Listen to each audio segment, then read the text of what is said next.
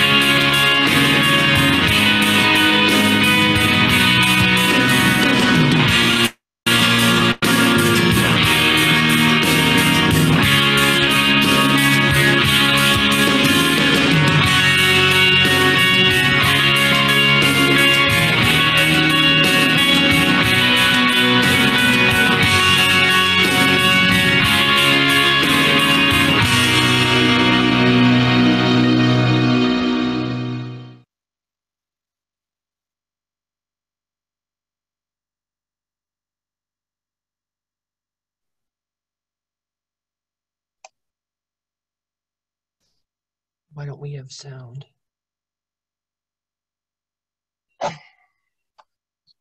Today is Sunday, June 7th, Trinity Sunday. And as I like to do, first a few housekeeping rules. If you haven't joined us before, your microphones are muted to cut down on confusion. But please continue to use your voice to participate this morning. Next, at the bottom or possibly at the top of your screen, you should find a chat box. If you click to open it, that's where you can type in any prayer requests that you might have this morning. This week, again, we'll be reading out of our own Bibles and having communion. So you might want to take a moment to fetch your Bible, a candle, and bread and juice if you haven't already prepared them um, right now so that you will have them ready as we go through worship. Our scripture readings this morning are Psalm 8 and from the Gospel of Matthew, chapter 28, verses 16 through 20. Our hymns this morning are Holy, Holy, Holy, and All Hail the Power of Jesus. This week, Nick and I attended an Akron Interfaith Zoom meeting to discuss the best preparations for to safely open our church doors to worship once again. Um, they brought us uh, the best wisdom based on the latest scientific findings, and um, we continue to get prepared as we um, get ready to open the church again in the coming time. And Brad and I met with a video expert to further explore uh, the best practices for streaming. Um, so that once we get back, we can be prepared to not only worship in person, but for those who are still um, wanting to uh, shelter at home, they'll be able to join us via Zoom. Um, consistory this week will meet on Thursday, not Tuesday. We'll be meeting on Thursday at 7 p.m. Um, due to a conflict in Brad's schedule. So I will be sending out a reminder, but I'm announcing it today. Don't show up on Tuesday. We won't be there Thursday. Um, and I'll resend the link for your convenience. And on Tuesday at 11 a.m., I'm going to host a special story time and discussion um, with our children um, via Zoom. So I will be sending out a link to everybody and posting it on Facebook uh, to for the children to join. I'm sure they'll need uh, the grown-ups help to get online. But 11 o'clock on Tuesday, we're going to have a special, terrific uh, Tuesday kids kids zone, and I will be hosting it. So I hope you can turn in, tune in then. After service, you're welcome to grab a cup of coffee and hang out for our coffee hour. Um, we'll unmute everybody's mics at that time so that we can talk uh, to one another freely. So now let's take a minute and move into our time of worship. Let's put our right hand on our hearts and our left hand on our bellies. And we're going to breathe in to the count of four. And exhale to a count of more than four, just a nice slow exhale. Inhale to four and exhale to more than four. Breathing in the divine presence of God and breathing out any stress and anxiety. Breathing in God's peace and breathing out, releasing any worry.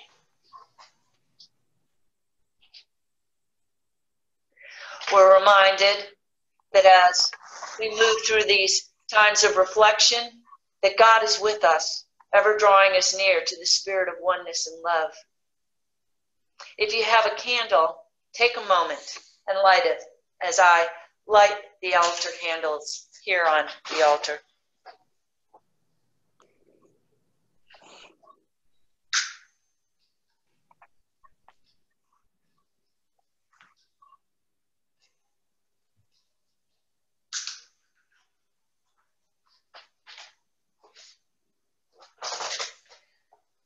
Flame of our candle represents the light of Christ and reminds us that Christ, as the Holy Spirit, is always with us and within us. And the candle also reminds us that regardless of what you and I were doing just moments ago, we've now entered into a sacred time. And we're reminded that we're never truly alone. Christ is here now as we worship and always within our hearts. Let's pray, shall we? Jesus, you promised us that wherever two or three are gathered in your name, there you will be also. So here we are, separated by space, yet gathered together in spirit and ready to worship you. Amen. So let's take a moment now and join in our introit.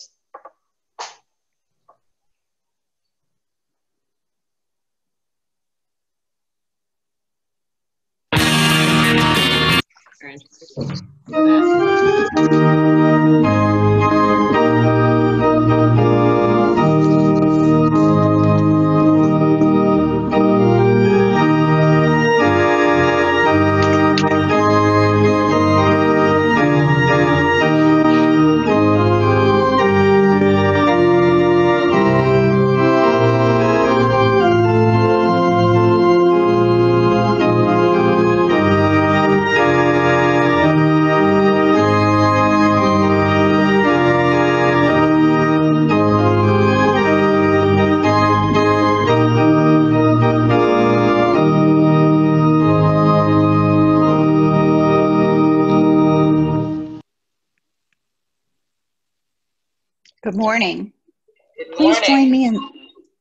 join me in the call to worship.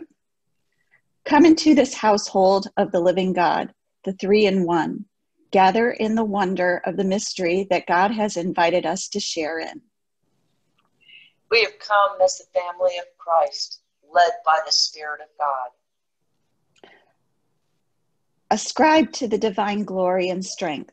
Ascribe to God the glory that is due. Worship the triune God in the beauty of holiness. Our hope is that in this time of worship and learning, we might embrace what lies beyond our imagination and understanding.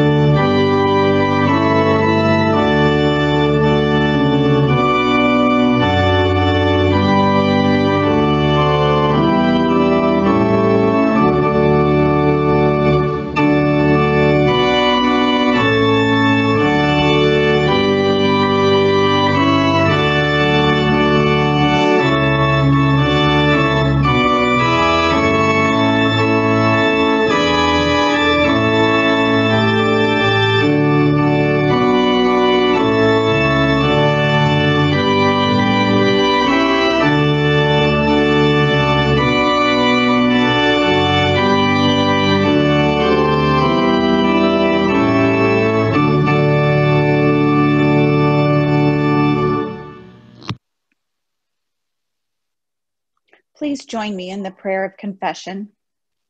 Holy One, we acknowledge that too often we try to live not acknowledging the mystery of your being. Even though you have shown us your truth, we allow ourselves to rest in our own uncertainties. We find ourselves unable or unwilling to embrace the love through which you sent Christ to live among us. We take for granted the grandeur of you as creator, of Christ as redeemer, and of the Holy Spirit as ever present sustainer. We do not live out the beloved community you desire for all. Forgive us, we pray, and help us give testimony to your love. Amen.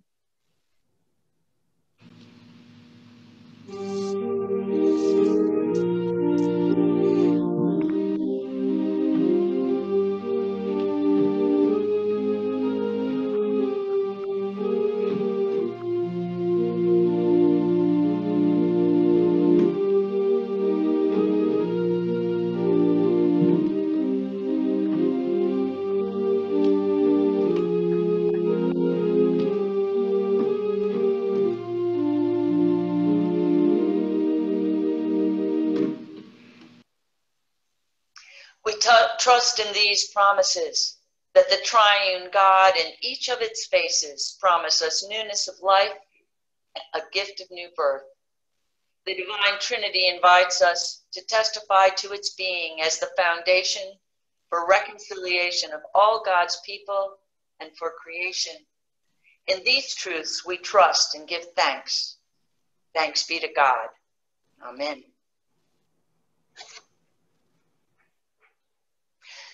During our Zoom worship, we have been setting aside a few moments each week to learn more about our Bible from the Bible Project folks. This week um, talks about the use of plot in the Bible. I'll be sending out a copy of this video later today for those of you who would like to view it again in more depth, along with the study guide. But for now, let's take a look.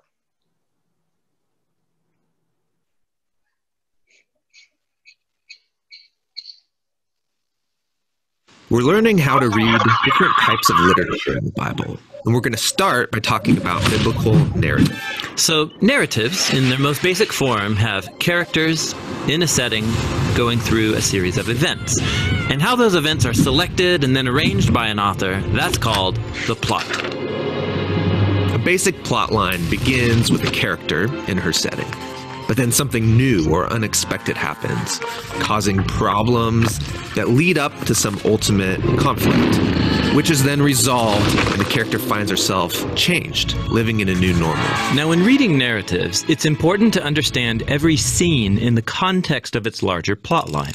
You can make the same story have a totally different message if you ignore where it occurs in the plot. This happens all the time when people read the Bible. Really? Yeah, take for example the story about Gideon. There's this well known scene where Gideon's trying to discern whether God will help him win a battle, and he requests a sign from God. Yeah, Gideon lays a wool fleece on the ground and asks that in the morning the fleece be wet with dew, but the ground totally dry, and God does it. Now, if you look at this scene just by itself, what is the conflict? How can Gideon know if he'll succeed? And the resolution? Test God, ask for a sign, and find out. Yeah, and that's how many people actually read this story, and it totally misses the point because it's ignoring the larger plot line. Really? Yeah, so let's start from the beginning. You'll get the context. The story begins with Gideon and the Israelites living in fear because they're oppressed by an invading people, the Midianites. Got it. Then there's the call to action. God commissions Gideon to defeat the Midianites and save Israel. Yeah, this is shaping up to be a good story. But then Gideon's super hesitant, so he asks God to do this magic trick, a sign, so I can know it's really you talking to me.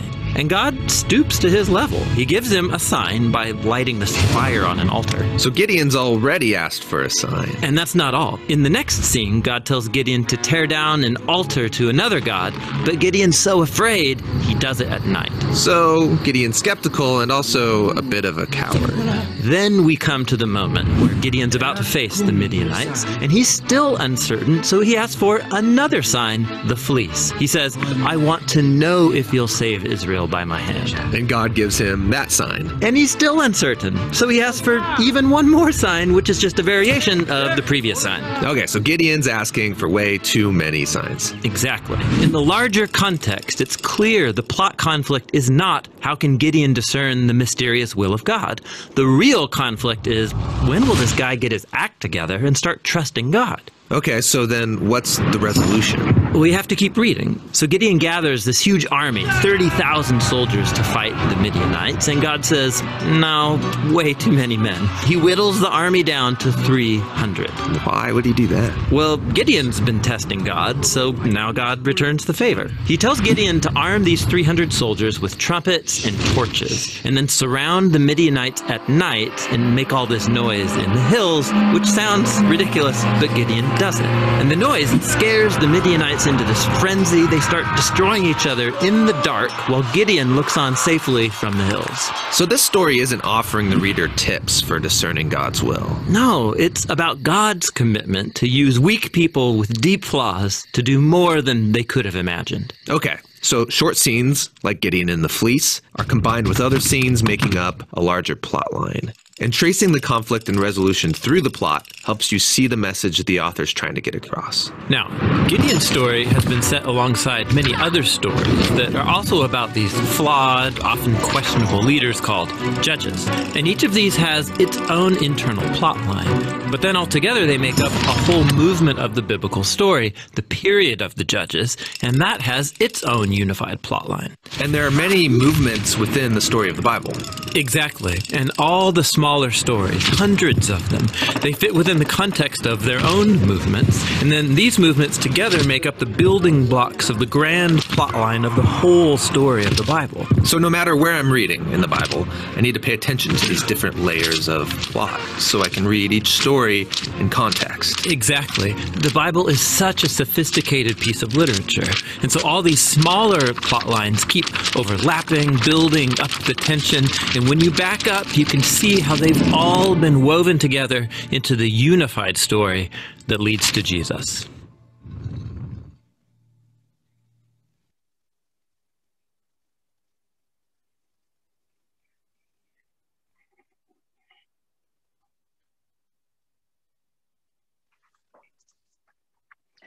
Our first lesson this morning comes from Psalm 8. Listen now as the Spirit speaks to her church. O Lord, our sovereign, how majestic is your name in all the earth. You have set your glory above the heavens. Out of the mouths of babes and infants, you have founded a bulwark because of your foes, to silence the enemy and the avenger. When I look at your heavens, the work of your fingers, the moon and the stars that you have established, what are human beings that you are mindful of them, mortals that you care for them? Yet you have made them a little lower than God and crowned them with glory and honor. You have given them dominion over the works of your hands. You have put all things under their feet all sheep and oxen, and also the beasts of the field, the birds of the air, and the fish of the sea, whatever passes along the paths of the seas. O Lord, our sovereign, how majestic is your name in all the earth. May God bless the reading and hearing of his word.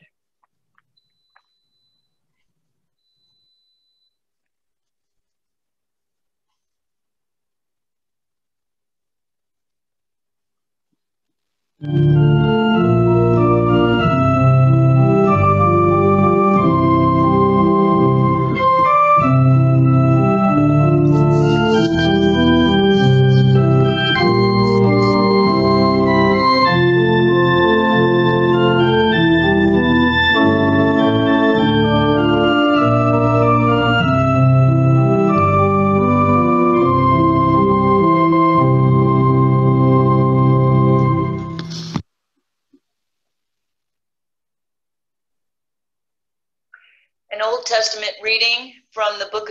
Genesis, chapter 2, verse 7. Then the Lord God formed man from the dust of the ground and breathed into his nostrils the breath of life, and the man became a living being. And from the Gospel of Matthew, chapter 28, verses 16 through 20. Listen now for the word to God's people. Meanwhile, the 11 disciples were on their way to Galilee, headed for the mountain Jesus had set for their reunion. The moment they saw him, they worshiped him. Some, though, held back, not sure about worship, about risking themselves totally. Jesus, though undeterred, went right ahead and gave his charge. God authorized and commanded me to commission you. Go out and train everyone you meet, far and near, in this way of life, marking them by baptism and in the threefold name Father, Son, and Holy Spirit. Then instruct them in the practice of all I've commanded you, and I'll be with you as you do this day after day after day, right up until the end of the age. This is the word for God's people. May God bless all who hear it, who keep it, and who share it. Will you pray with me?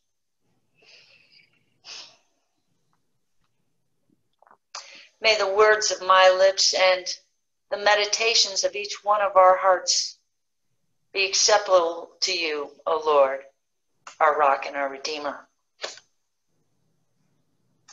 So, good morning. Today is Holy Trinity Sunday, the one Sunday of the church year in which it's wholly devoted to exploring and celebrating a theological idea. As a church, we take time once a year to specifically pause and to consider the many ways God is present and active and moving in our world. Perhaps in this turbulent time, you and I are called to encounter God here on earth as never before. Indeed, maybe it's ours to wonder what it means that you and I have been created, as the psalmist wrote, in God's image, just a little lower than God, bearing the face and breathing the very breath of God. Indeed, for now, I can't help but wonder if that might take us exactly where God intends us to be, even now.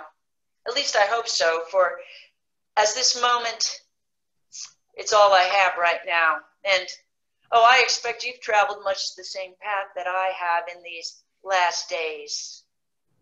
We can be just even a little bit conscious right now and not simply be bowled over by so much going on in our country.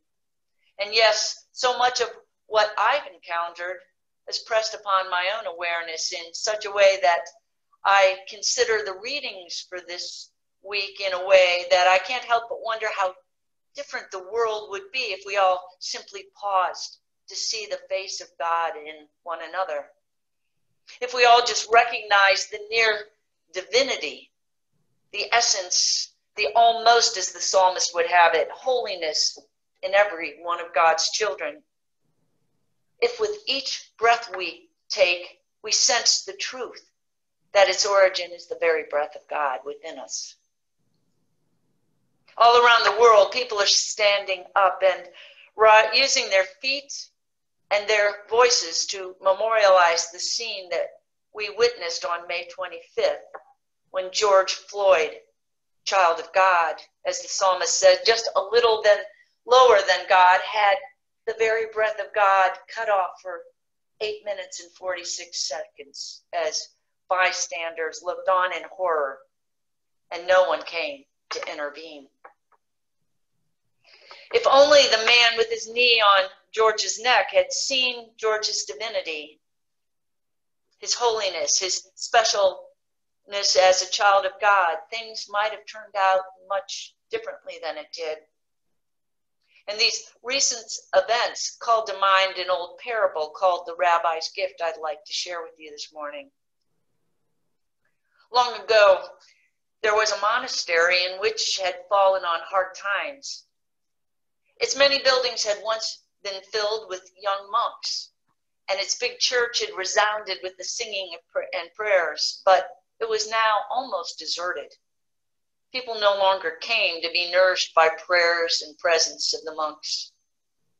Only five monks were left in the decaying mother house the abbot and four others, all over the age of 70.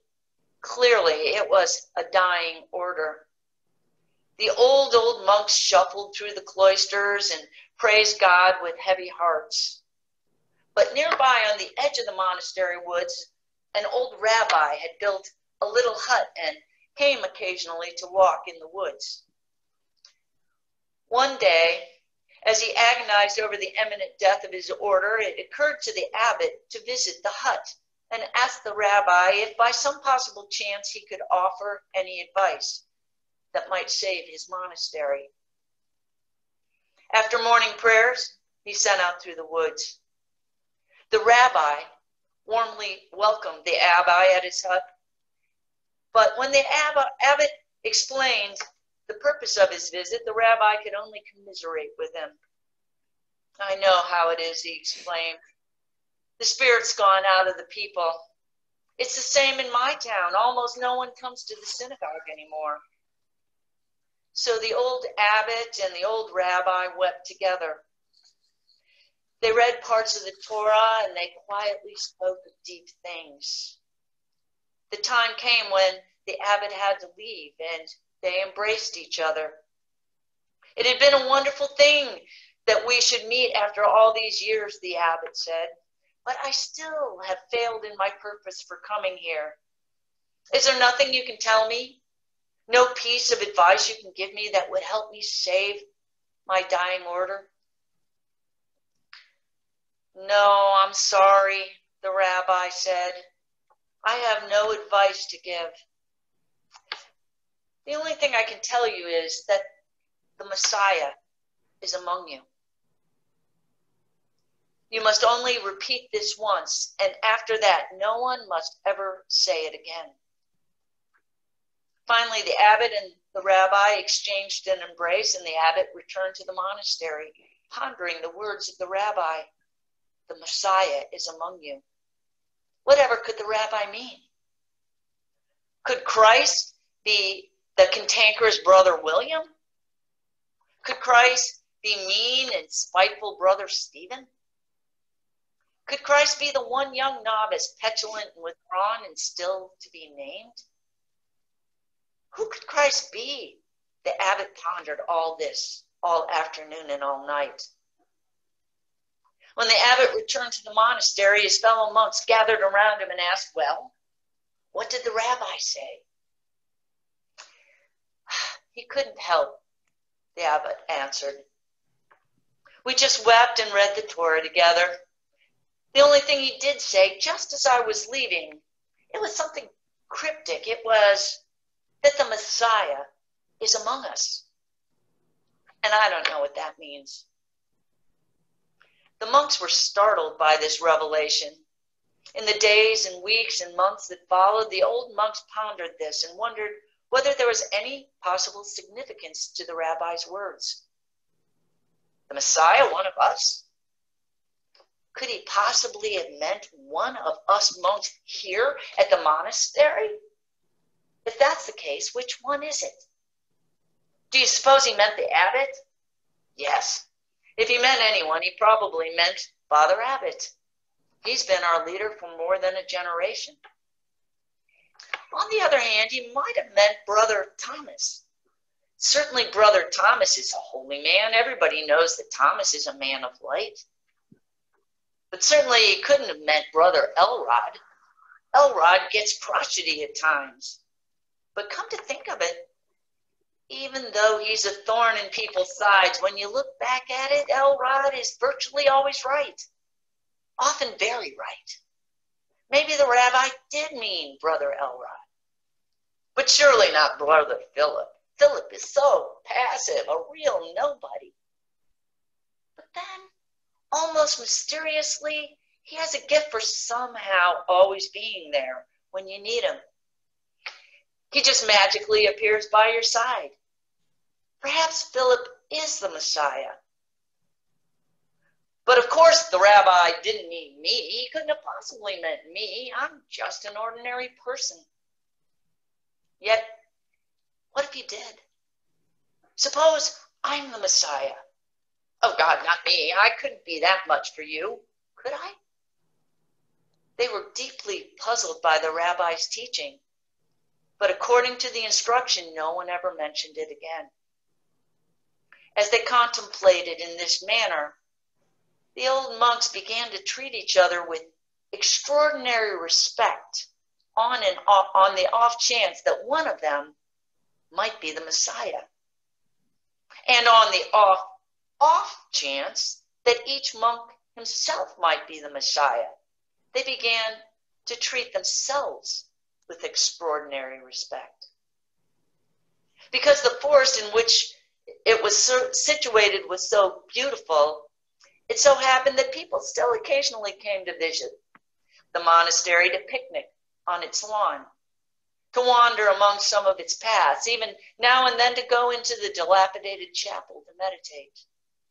And as they did so, without even being conscious of it, they sensed the aura of extraordinary respect that now began to surround the five old monks and seemed to radiate out of them and just permeate the atmosphere of the place. There was something strangely attractive, but even compelling about it. Hardly knowing why, they began to come back to the monastery more frequently to picnic, to play, to pray. And they began to bring their friends to show them this special place too. And their friends brought their friends. And it happened that some of the younger men who came to visit the monastery started to talk more and more with the old monks. And after a while, one asked if he could join, and then another, and then another. So within a few years, the monastery had once again become a thriving order, and thanks to the rabbi's gift, a vibrant center of light and spirituality in the realm. Friends, I believe this story is actually true, or at least has a core of truth. Christ is among us. Have you seen him? Look into your screen and see all the faces of your brothers and sisters looking back at you. Is he there? How about those protesters? Is he one of them? How about the very seat that you are sitting in? Could you be the one? Think about it. If everyone believed George Floyd was possibly the Messiah returning, could his God essence be so casually cut off by a knee while one's hands were in his pockets? Last week, we read how God's Spirit swept through the early church setting each person's heart on fire and enabling them to truly hear each other for the very first time. Perhaps we're finally starting to hear each other. Just like that ancient monastery, the world is beginning to recognize the sacredness of all of God's children, that we're all, we all have the divine breath within us. And that breath that God has given us in creating us just a little lower than God is meant for so much more. So very much more. Indeed, you and I have been called to be about creating a world in God's image of love, of hope, and of justice, where all who are imprinted with the image of God would know the wonder of these precious gifts. And you and I are called to be part of shaping a world where we use God's best gifts to protect one another from disease. Every single one another. And you and I are called upon to love the young and the old, the strong and the frail, in such a way that the most vulnerable among us are not left without protection.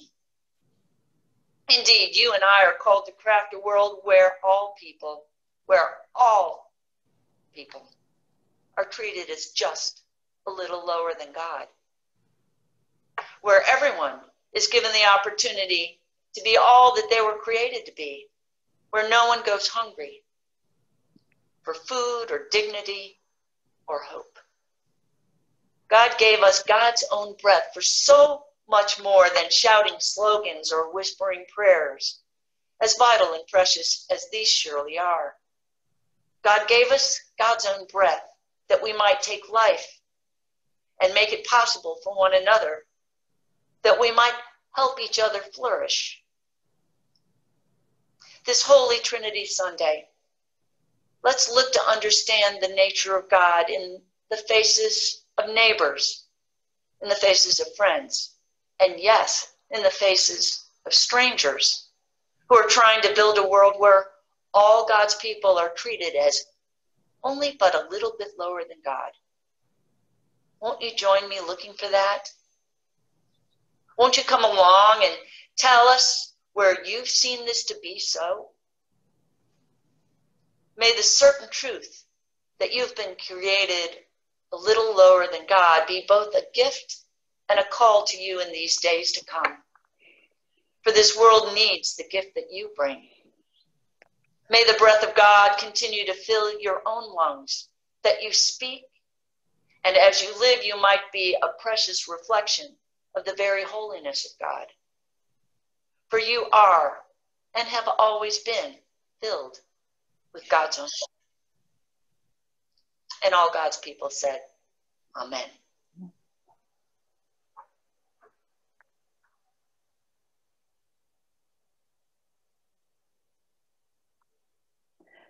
God is the giver of life. Christ is the gift sent to share our life. And the Holy Spirit, the power that enables us to continue in generosity, justice, and joy. Let us remember to send our tithes and offerings to the church through the mail or PayPal found on our Facebook page. And now will you pray with me? Today is Trinity Sunday on our calendar, O God, a day when we recognize the historical formulation of your nature as Father, Son, and Holy Spirit.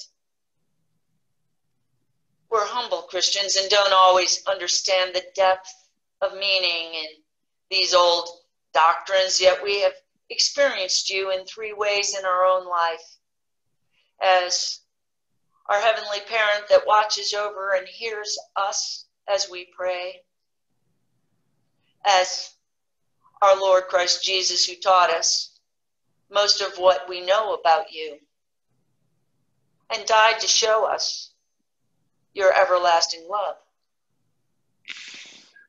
And as your Holy Spirit, who is still at work in, create, in the world, creating what is best and most meaningful in it, and encouraging us to live in a way to further your kingdom. We praise you, Lord, for these ways in which we know you and for the church, which through the ages has attempted to clarify our human experience of you and help us make sense of you. Teach us to be more sensitive about these manners and to care about their meanings. And as children grow and learn more and more about parents who have born that and kept them. Help us learn more and more about you and appreciate the aspects of you and your provision for us. And as we learn more, help us to care more about the world you've made and about your other children in this world. Make us more keenly aware of the hurt and the poverty of this world, of people who are isolated and lonely, who live under the curse of disease, those whose whole existence have been marginalized by where they were born and what kind of homes they come from, by their skin, their orientation, or their religion or lack of religion. Today, we especially lift up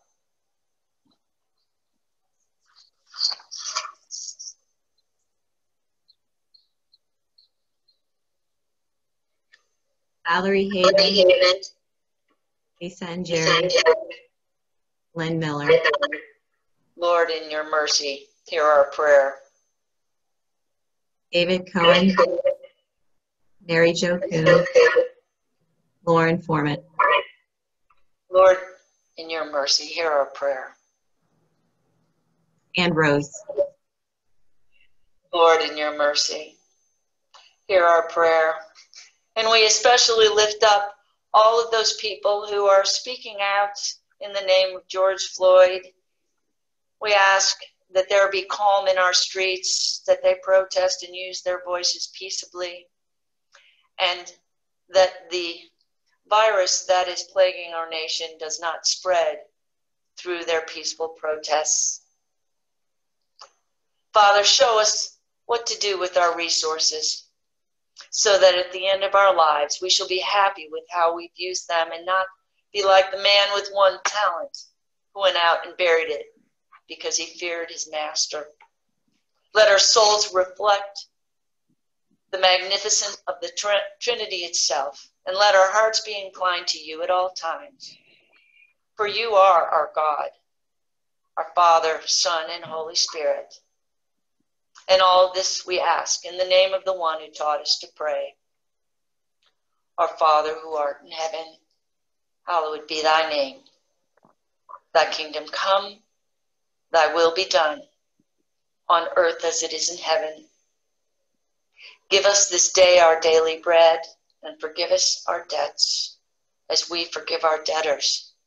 And lead us not into temptation, but deliver us from evil.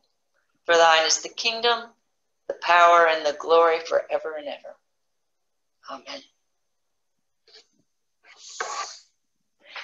Friends, this is the joyful feast of the people of God. By the mysterious wonder of our triune God, we gather together to celebrate a feast that transcends all time and space, joining with Jesus and his disciples in an upper room, with the church of all ages who have come here so often, with sisters and brothers in faith all along the way, with people we know well and those we don't know at all here we trust that the mystery of God will become real. Here we gain a taste of the divine. And here we are fed as we go forth to serve the world. Come, all of you, and share in this feast of holiness and the wonder of God. May the Lord be with you. And Lift up your you. lift up your hearts. We lift them to the Lord. Let us give thanks to the Lord our God. It is right to give God our thanks and praise. Let us pray.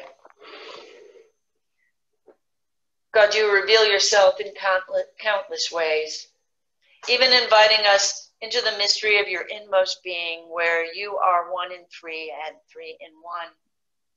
In your creation, you show us the marks of your hands, and in creating us in your image, you call us to bear your very presence into the world. For your wondrous being and your glorious creation, we join our praise with the sound of all creation to joyfully sing and praise you in your wondrous glory. Just as we have known your presence and love in the gift of the Father and the Son, so, O God, reveal yourself to us in the wonder and power of your Holy Spirit. Pour out this spirit of love and hope on these elements of bread and wine, that we might rise from this holy meal to love and serve the world. Keep us faithful in our service to you, that we might give you glory and honor and praise forevermore. Amen. We remember that Jesus gathered at the table with his friends in a time of struggle and fear, and he took the bread and he blessed it and he broke it, saying, Take and eat, for this is my body. And after supper, Jesus looked forward to your desired day of joy. And he took the cup of wine and he blessed it. And he said, Take this, all of you, and drink. This is the cup of the new covenant in my blood. I will share this meal with you again in the reign of God. Share this bread and this cup in memory of me. And now, every time we share the bread like this, and every time we share the cup, we remember Christ Jesus and his everlasting love. Come now, Holy Spirit of God. You are present in creation. Be present now.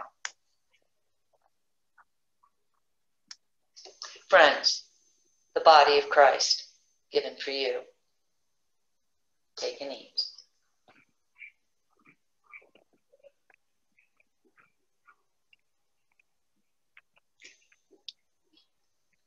The cup of the new covenant poured out for each of you. Drink in remembrance of Christ Jesus.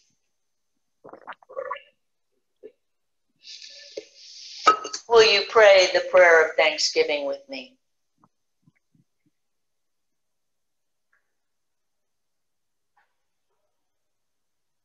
Creator God, we give you thanks for the grain farmers, the bread bakers, the grape growers, the juice makers. Redeemer God, we give you thanks for all that we remember as we have shared this meal your birth, your life, your death, and your resurrection. Sustaining God, we give you thanks for the eternal presence of your Spirit with us, surrounding us and filling us with divine life. May this meal we have shared renew us and inspire us to join more joyfully with you as you work for peace and justice in the world. Amen. And now I invite you to join with me in our closing hymn, All Hail the Power of Jesus' Name.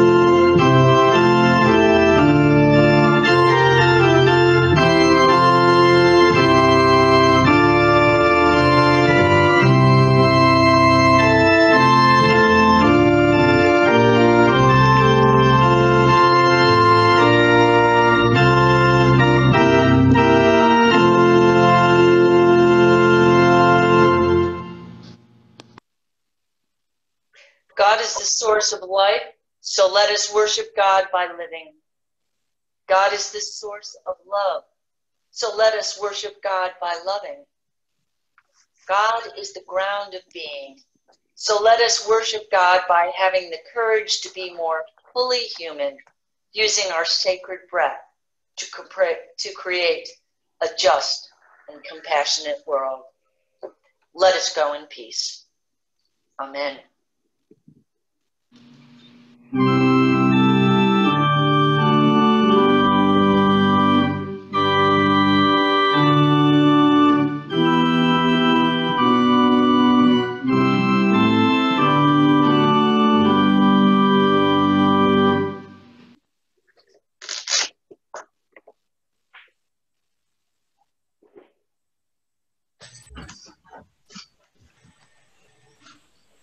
Good morning. Morning. Morning. Morning.